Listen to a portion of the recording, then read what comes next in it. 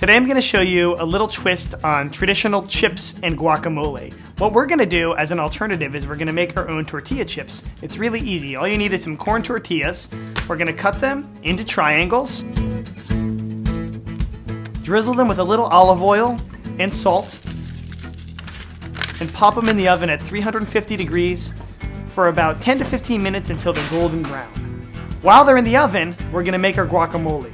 We're just gonna mix together some avocados, some tomatoes that we have diced up, some jalapeno that we have diced up as well with the ribs removed so it's not too spicy, some chopped up red onion, cilantro, raw garlic, lime juice, and finally some salt and pepper.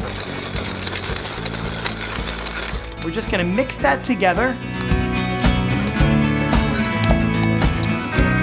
By the time we're all done with that, our tortilla chips are probably done. We're gonna pull them out of the oven,